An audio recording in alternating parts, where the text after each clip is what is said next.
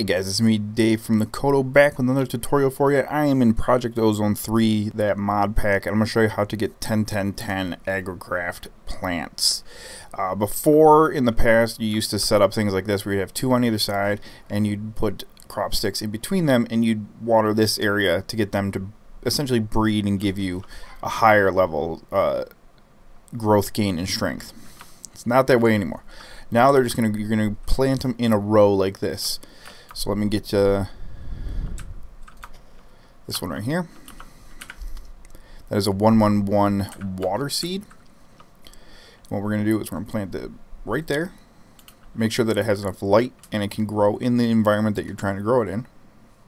Water it to full growth.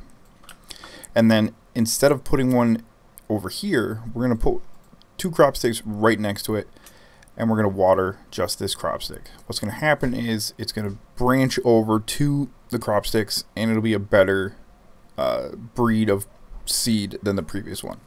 Now this can take 10 seconds, it can take 2 minutes, and if you have the fertility um, ability, it'll make it go a little bit quicker. So see, it just a new one just grew right there. We're going to grab it. We're going to analyze it.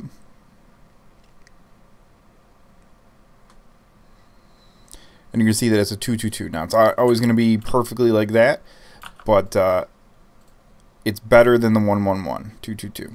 So let's, one more time, I'll show you. Have this grow all the way to full. Two crop sticks right next to it in a line like that. Water the empty crop sticks.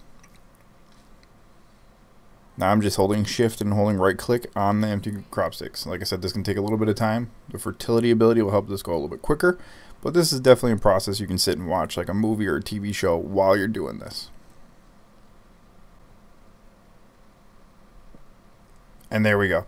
Now you may have to move it around, reset it, that kind of thing, depending on the environment that you're messing around with to see if it is uh, needs more. It needs more light to grow in that situation or less light, that kind of thing. But uh, that's all you're going to do. And you can see this went up to a 232 from a 222. And we're just going to continue that process all the way down a line like I did with these um, Inferium seeds. Started with the 222, worked my way all the way around, and eventually I get to the 10 10 10, which is what you want.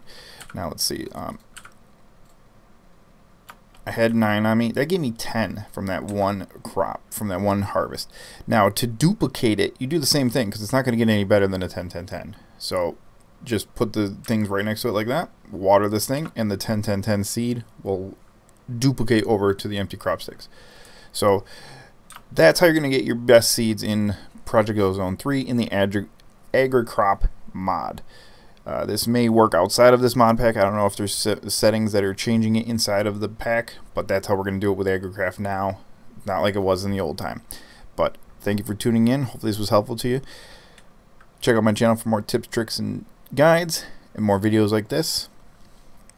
If you have any questions, leave them in the comments section. And like always, guys, good luck and have fun.